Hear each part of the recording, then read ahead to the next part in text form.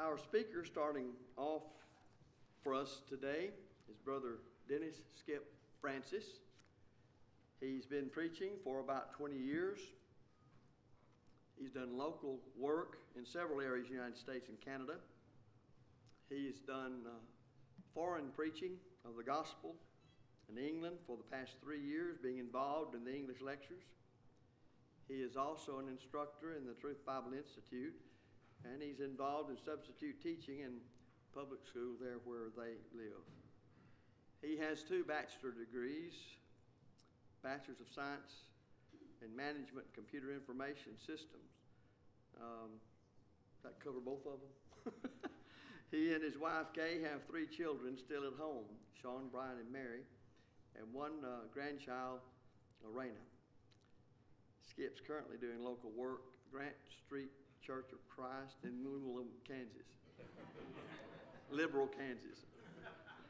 So we're very glad that Skip is with us. We look forward to hearing him speak this morning on a gathered people. And I think it'll be interesting just to hear the meaning of that. Come speak to us.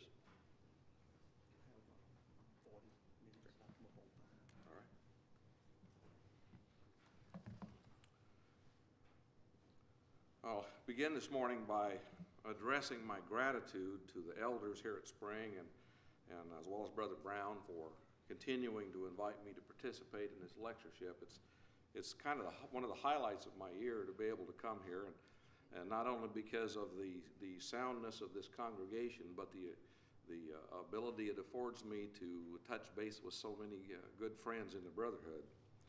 Uh, one of the things I determined not to do this morning, because I know it kind of got started yesterday, but I decided that in the spirit of fellowship and, and friendship and peace, that I was not going to say anything about Terry Hightower. of course, Terry does enough of that all by himself, so. Uh, I, I want to especially thank the Cones for uh, continuing to uh, not only put up with me, but uh, this year I was able to bring the family with, or at least part of it. When you have as big a family as we do, it's difficult to get them all out at once. So, but we're, we're certainly pleased to be here, and uh, I can't say enough about these kinds of lectureships and the need for them today. You know, as the, the change agents and the false teachers just seem to be multiplying in, like rabbits in leaps and bounds. The uh, illustration I guess I would use, because it's one of the ones that, uh, that always seems to, uh, to happen, uh, many of us are on internet lists, and you've heard us talk about them before. And one of the things that frequently happens is someone will send a, a, letter or note to the internet list and say, Does anyone know of a sound congregation in this place? And the silence is deafening. And the reason is because today there are so few sound congregations in this country. And, and that's one of the reasons why these things need to be done. We need to deal with these problems and need to bring whatever we can, bring the church back to what it should be. Of course, now, this should be no surprise to those of us that, are, that study history and try to learn the lessons of history. When we, we go back and we look at both the history and Bible times of the Lord's people as well as as uh, right up to modern times. We continue to see the same kinds of issues, the same kinds of problems arise that we read, for instance, about the seven churches of Asia. We've also had many men in modern times that have rather prophetically talked about these issues. You know, some of us remember those famous quotes. Uh, J.D. Tant is a good example of that. Brethren, we are drifting. And of course, the many different people that have said that we're only one generation away from apostasy. We have been warned. Still, and sadly, there are many today in the church that will not stand for the doctrine of Christ even when it virtually slaps them on the face. It seems with some that as long as there is a Church of Christ sign on the door, and no instrument in the building, almost anything else is acceptable. And of course, as many of us know, the instrument is becoming less and less of an issue as well as the name of the church. Many of our brethren will continue to identify congregations or preachers that they used to know as sound, even though these congregations and preachers now practice many things that have no authority in the Word of God. They teach things that are opposed to God's mandates, and they bid Godspeed to error by virtue of inappropriate fellowship. If there's so much that is error being taught to our brethren, it's all the more important that these errors be exposed. It was rightly said many years ago that forewarned is forearmed. And brethren, we need to be armed. This is warfare, and it's warfare for the souls of man. In case you think that these lectures have little impact, just go back and look at the archives from last year's lectures and notice the number of, well, shall we say, well known men that, that got real involved and got real concerned about what we were doing here. It's our hope that they will continue to be offended, and better yet, that they'll repent. The title of the book under review is called A Gathered People revisioning the assembly as transforming encounter. By the way, Brother Al Maxey, if you're watching, I read the book. I, I just wanted you to know that. Uh, you know, it was also rightly said to err is human and to really mess things up requires a committee.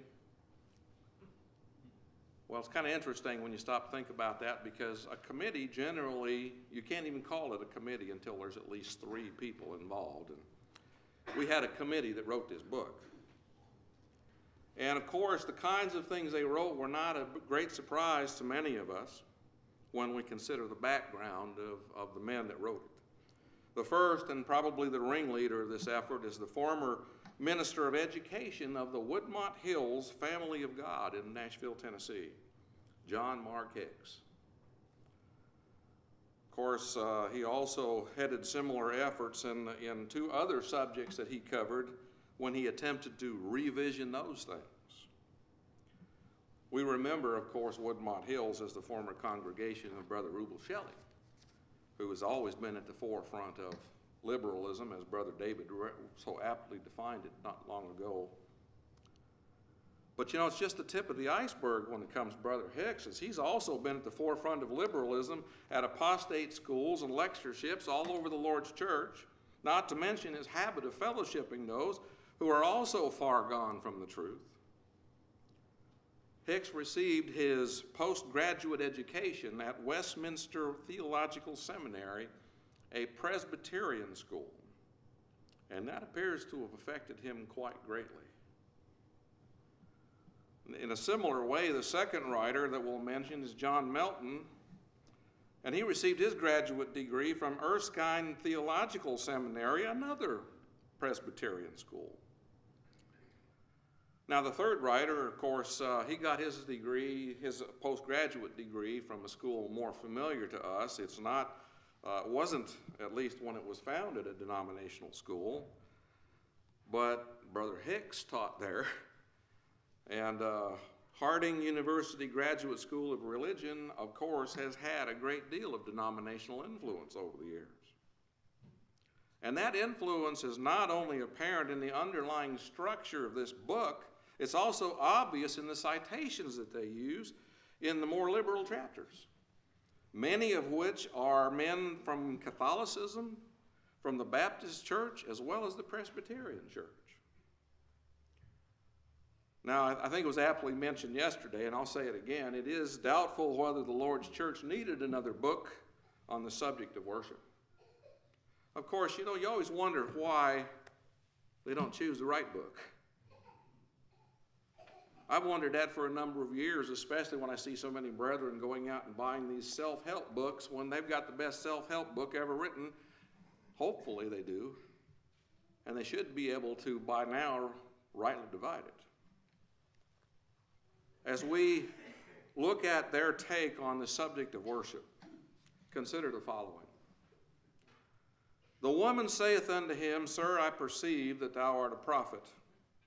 Our fathers worshipped in this mountain, and ye say that in Jerusalem is the place where men ought to worship. Jesus saith unto her, Woman, believe me, the hour cometh when ye shall neither in this mountain nor yet at Jerusalem worship the Father.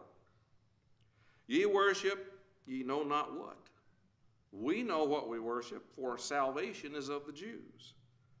But the hour cometh, and now is, when the true worshippers shall worship the Father in spirit and in truth, for the Father seeketh such to worship him. God is a spirit, and they that worship him must worship him in spirit and in truth. The woman saith unto him, I know that Messiah cometh, which is called Christ. When he is come, he will tell us all things. Jesus saith unto her, I that speak unto thee am he. John chapter 4, verse 19 to 26. I thought as I began to review this book, I'm going to read the title once again so that you can really understand how I was, what my, what my thinking was when uh, Brother David uh, first called me and, and asked me to participate in a lectureship. Of course, I, I agreed to do that, but it was only then that he told me the title of this book that I was supposed to review. Now, though I was familiar with the name of at least two of these authors, and had heard of a previous book reviewed last year by Brother Johnny Oxendine, I had not read any of their writings personally before, except, of course, in extracts from the lectureship. So when Brother Brown told me I was doing a, a lesson, a manuscript on the subject of a gathered people revisioning the assembly as transforming encounter, I immediately responded, It sounds to me like a doctoral thesis for a PhD in psychobabble. And that's just what it sounds like. And you know, brethren, one of the things that, uh, uh, that I know that sometimes we can do today, we can judge a book by its cover. Often, such books as this use terminology that my grandmother would have called highfalutin. Uh, well, I guess as one that likes to uh, dabble in sleight of hand, some of you know that I have an interest in stage magic and, and, uh, and I like to play around with that. It's been a hobby since I was about 12 years old. I would really refer to this as smoke and mirrors. Because one of the things that I, that I know about magic is that, especially guys that do a lot of stuff with cards, well, what they like to do before they start doing their regular card tricks is they kind of like to dazzle their audience with their dexterity with the cards. They do a lot of these one handed cuts and fans and various other flourishes that, frankly, serve the purpose of baffling the audience. There are a number of words in this book that are designed to baffle the audience. As a matter of fact, there are some that cannot be found in any dictionary. Some are extrapolations of real words, but they're really made up words. Words like enculturation and its corollary, enculturated. Now, I looked them up. I couldn't find them in any dictionary I could find. I know what they're trying to say. But in addition, they also have a penchant for these high sounding religious terminology rather than the simple and pure words of God. They begin using such terminology right from the very beginning of the book in the introduction. Of course, as we'll talk about a little bit later, such terminology as sacrament and sacramental are very important to them. Now, they suggest that this term is a part of the, quote, historic church's use. Well, I always wonder what folks like that mean when they talk about the historic church, because the historic church began in the first century. The term sacrament was coined by Augustine of Hippo in the fourth century, and he defined the term as an outward and temporal sign of an inward and enduring grace. Now, it's used much this way by the authors to suggest that the Lord's Day worship is an outward or, and I quote, external symbol through which God acts to give grace to his people. This idea of an outward sign of an inward grace is a term that denominationalists have used for years to try to downplay the saving nature of baptism, though they can't find even one Bible passage that ever says anything like that as I considered their belief in the historic church. And I noticed a number of times that they referred to the Stone Campbell movement. And I know that a lot of you in the books that you're looking at have seen the same terminology used. Brethren, guess what I found? There really are Campbellites out there. They're these folks, these liberals that want to attach everything to the Restoration Movement or the Stone Campbell Movement, as they call it. This term seems to be more important to them than membership in the body of Christ. They mention several times in the introduction, and they say, and I quote, part of our challenge as heirs of the Stone Campbell movement is to reconnect discipleship and sacramentalism. And by the way, is that really a word? And it is consonant with, even demanded by, our heritage to do so. Brethren, the only thing that we're going to inherit if we're faithful Christians is we're going to inherit heaven. And we're going to inherit, be able to sit jointly with Christ. As we look at the terminology that these three men seem to love, there are also a number of such cloudy terms throughout the book. They refer in one case to the Apostle Paul's doxological life, when they could have said a life of praise, because that's what it meant. Would the average Christian understand terminology like the Reformed regulative principle or the liturgical Reformed tradition? What purpose do words like anthropocentric, theocentric, and reductionistic serve? except, of course, it makes the one doing the writing sound more intelligent than the reading audience. So that we're really impressed with their verbiage, the fact that they have such a great vocabulary. And all it does is cloud the true meaning behind what they are trying to say. Now, I did something in the manuscript I'm going to mention right here is that I, I did something different than what a lot of the brethren are doing. I didn't start my manuscript with the beginning of the book. I started it with the end of the book, but there's a reason. In the section that they call the epilogue, it's entitled, Why Didn't You Talk About? And then, of course, the question mark, and then list virtually every major issue that is in need of being addressed in a book on worship. From instrumental music to hand clapping to charismatic body, charismatic body movements, they explain it away why they didn't cover it. First, they said, well, we didn't have the space. Actually, they had quite a bit of space. They could have done away with all the previous chapters and started talking about these things. But then they added this they are all secondary to the focus of this book assembly as a transforming sacramental encounter that calls us to participate in the mission of God is the foundation for discussing all other questions about the assembly. It is, according to them, the weightier matter.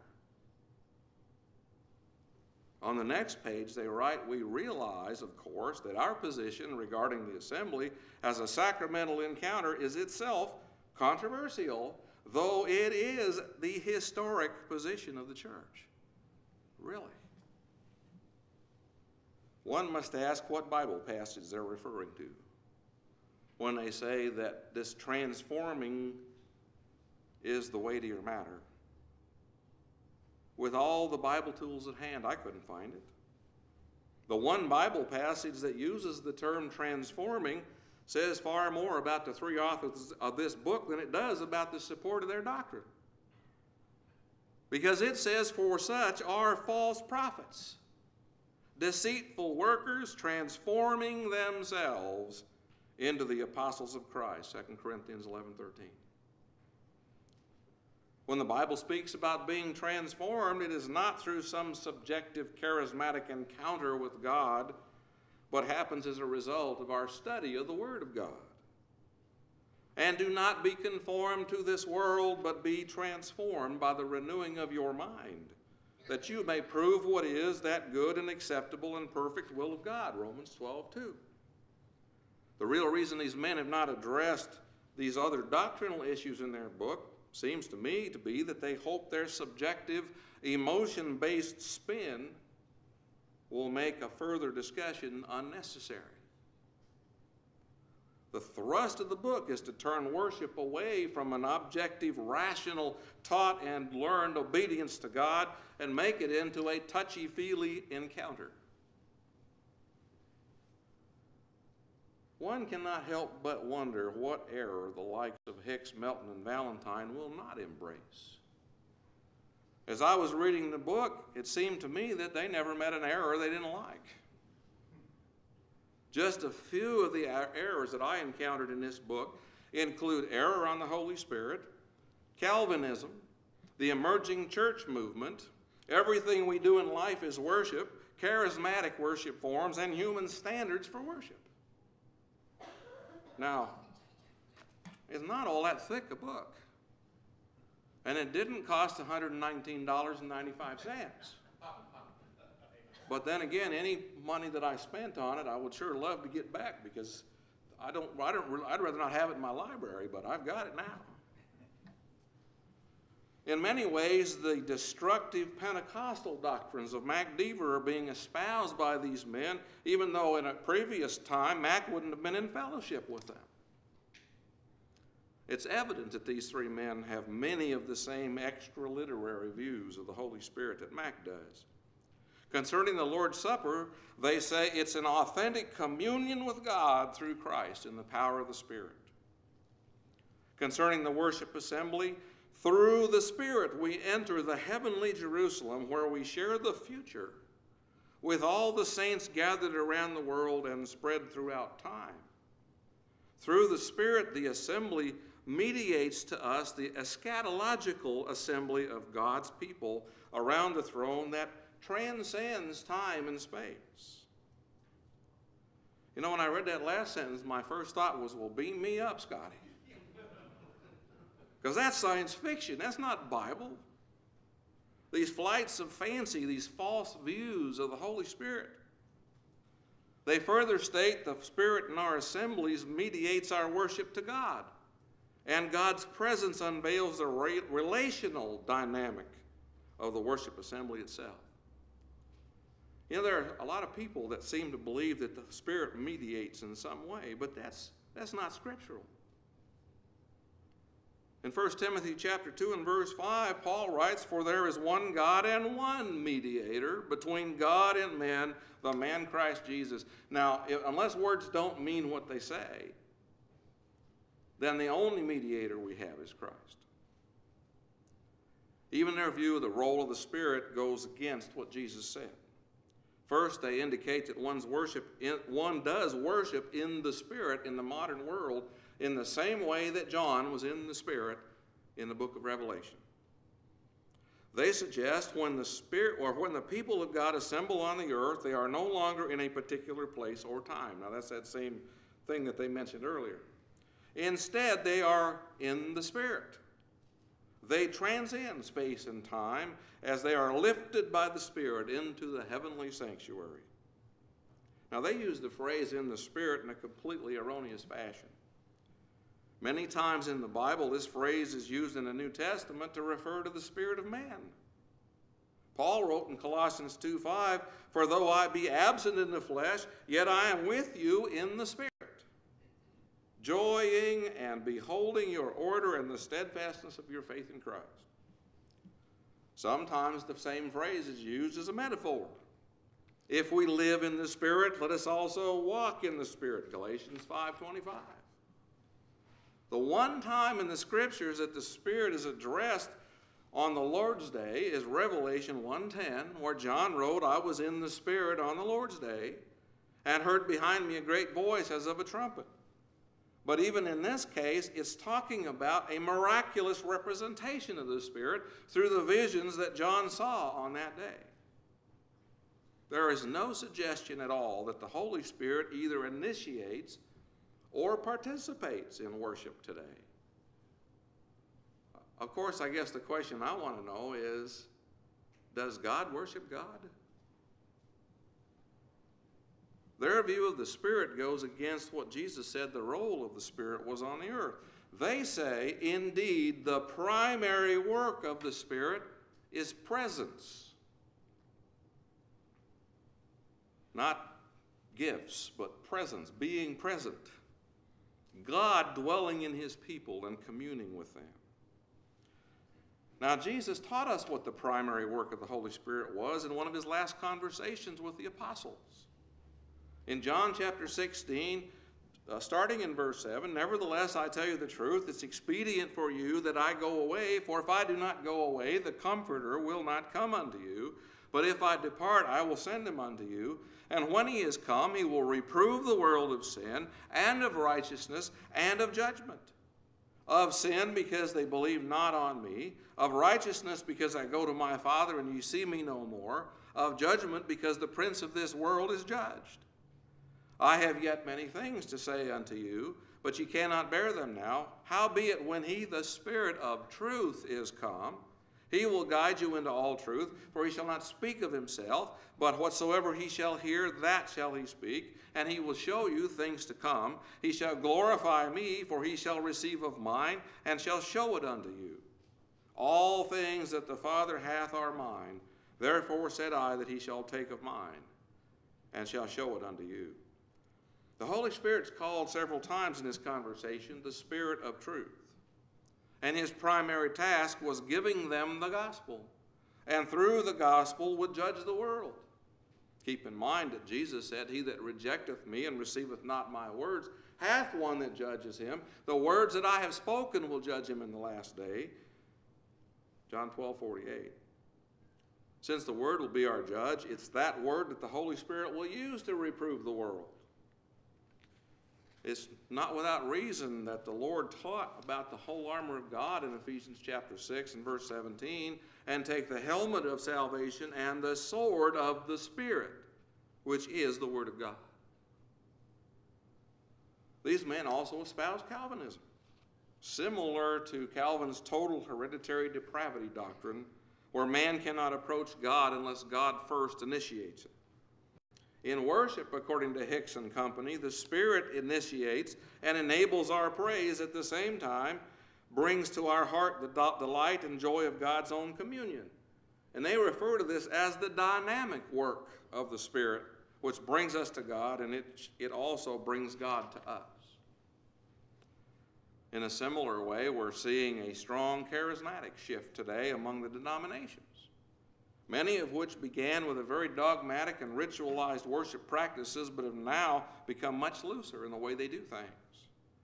They use bands, rock and roll bands even, in hymnody, and use contemporary styles and informal dress and almost a coffee house atmosphere, along with big screen TVs and other visually exciting venues, common in most of the traditional denominations today because they now are teaching a doctrine that is better felt than told. In order to keep their postmodern derived worship styles, they seek to justify themselves by denigrating the old paths of first century Christianity. In one such section, Hicks and company equate the so called five acts of worship that's familiar to us all with a form of institutional racism saying, well, perhaps the sharpest example of the narrow orthodoxy produced by this theology is the hundreds of congregations that were deemed sound and faithful because they scrupulously performed five acts of authorized worship while excluding African Americans from their assemblies. Now, I don't know if there is still a vestige of institutional racism in the church in this country, but that's a very unfair comparison. A church is not deemed merely sound merely because they participate in the authorized five acts of worship. As a matter of fact, I'd bet most of us know of unsound congregations that practice the exact same five acts of worship that we do, but are unsound in a lot of other ways. This has never been the only criteria for soundness. In another argument, they suggest that what we do was not founded in the Bible, but in the American Restoration Movement. They suggest that the five acts were handed down to us through the Reformed tradition and Scottish Independents that formed Alexander Campbell's own personal views. Then they add, culture influenced the exercise of these acts when we stopped using wine on the table because of the temperance movement. I guess we need to just throw out 160 years of scholarship in studying authorized worship in the scriptures because that's not the real reason we do it today, according to Hicks and Company. Or could it be that we actually have Bible for those things?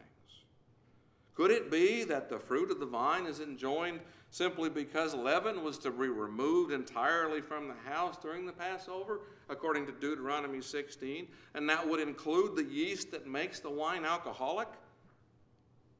Could it be that we're commanded to take the Lord's Supper by example on the first day of the week, Acts 20 and verse 7, and take up a collection on that same day, 1 uh, Corinthians 16, verse 1 and 2?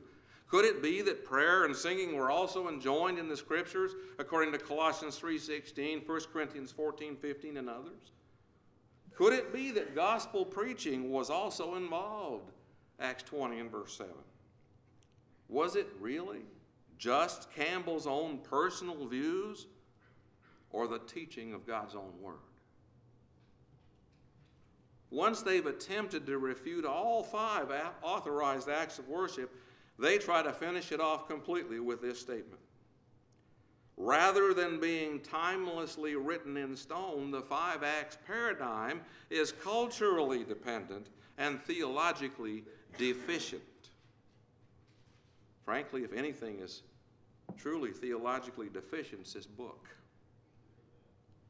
Now, you know, just when I thought that they had covered it all, I found that they also espoused, per Buster Dobbs, the everything we do in life is worship except for sin.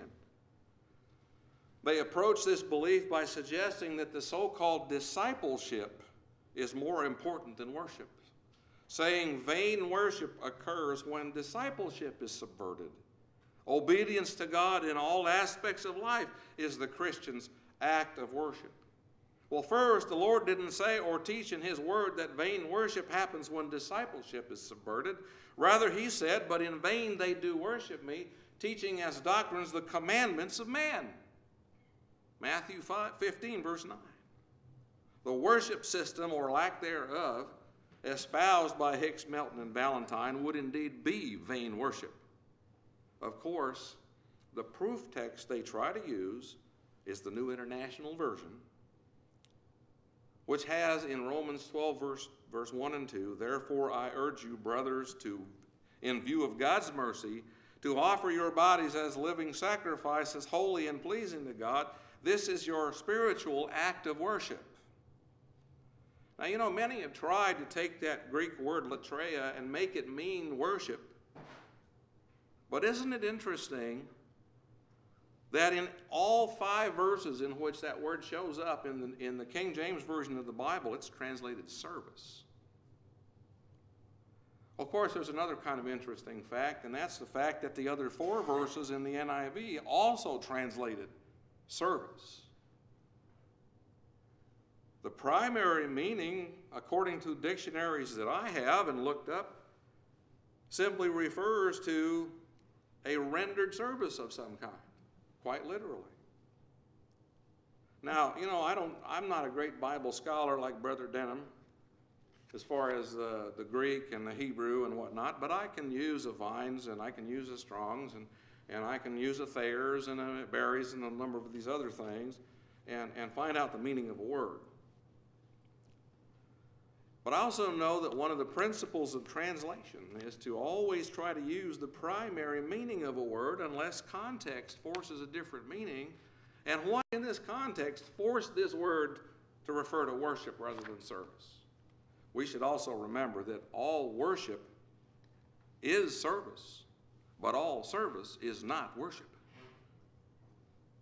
Otherwise, I could go play golf on the Lord's day and just call it worship we'll stop over here at the ninth, ninth hole and have our, have our cracker and our grape juice, and we'll just say we're worshiping God. Then you get into the charismatic type of things that they're involved in. And this really is at the heart is postmodernism. Anything goes.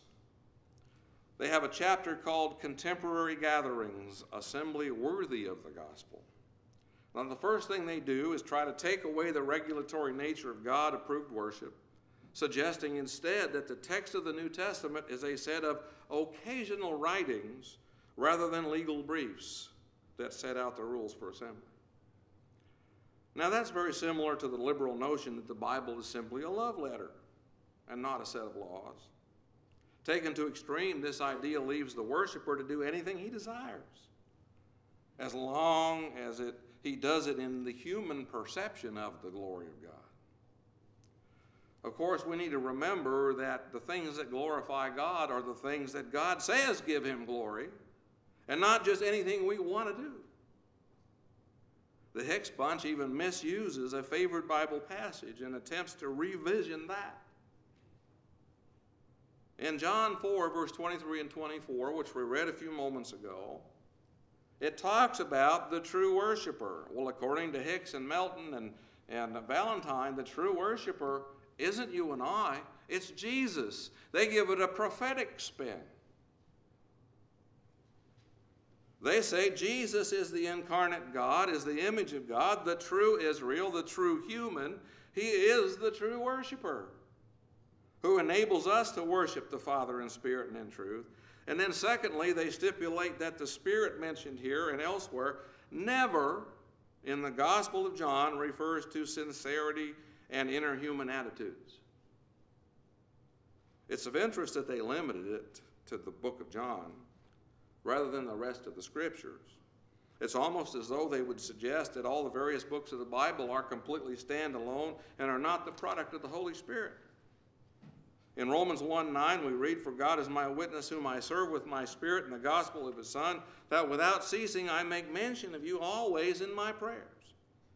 Instead, they view as referring to the Holy Spirit, even to the point of suggesting that the living water referred to by Jesus in verse 14 of John 4 is the Holy Spirit himself.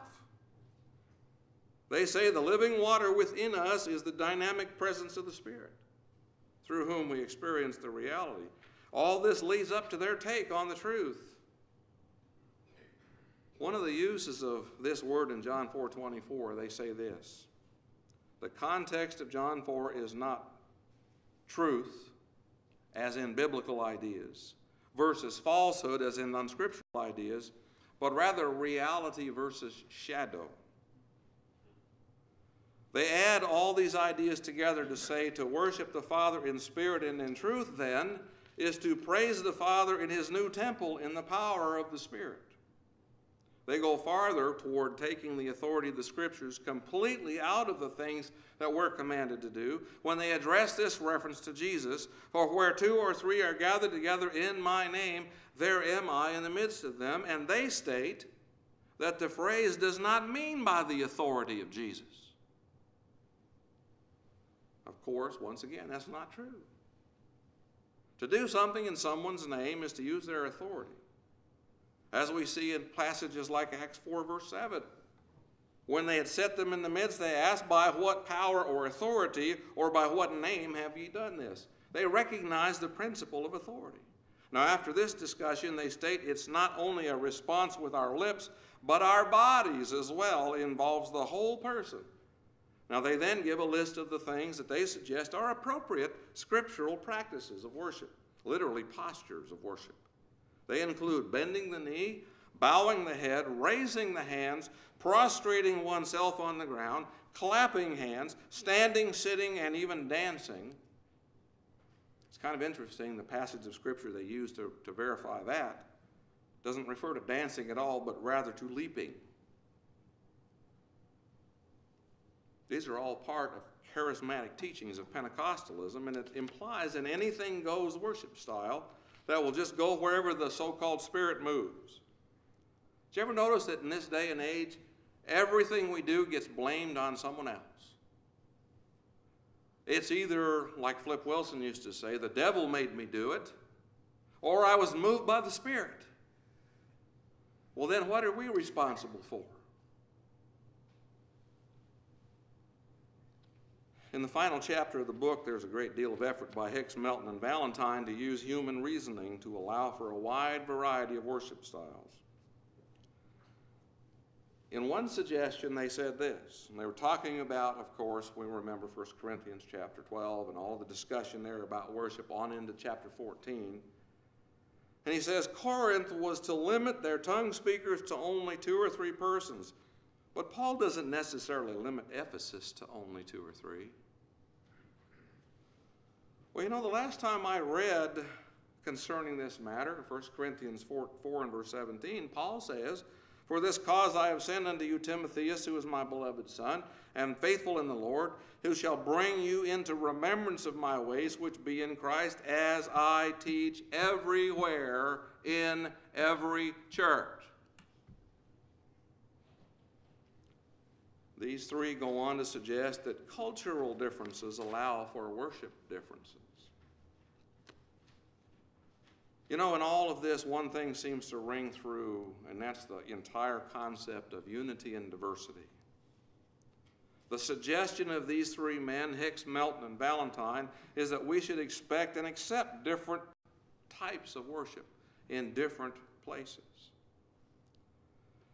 Brethren, they are not the spiritual heirs of Stone and Campbell. They are the spiritual heirs of Ketcherside, Shelly, and Lucado. In fact, cultural differences have proven to, to, to not to cause such differences. I've been making regular trips to England over the past few years, and one of the congregations that we typically go to in, in the uh, kind of the northeast corner of, of London, in the Thamesmead area, has, was mostly made of, of immigrants from Nigeria, Liberia, and Ghana. Kind of interesting, though, they sing the same songs, they pray the same way, they sing the same way, and they worship the same way that we do. This book, A Gathered People, the assembly as transforming encounter is indeed a profile in apostasy. And I know that between this lesson and Brother Gene's, we're going to cover the Hicks bunch pretty thoroughly this morning. Thank you. Don't forget your bottle. I say that because I keep one up here most of the time. Wish I'd had yesterday morning. That is an excellent lesson, we appreciate very much the effort put forth and the way it was presented in exposing the error that's in this book. He said uh, part of the problem nowadays we blame something that is our problems or our errors on somebody else. Oh, we blame it on uh, the Spirit maybe do it. Back in the 1950s, the late G.K. Wallace was in a gospel meeting in eastern Arkansas. And he was relatively close to the building. So he walked that Sunday morning, pretty morning, and decided to walk to the building. And he said on the way to the building, so the fellow approached him and asked him if he were a Christian.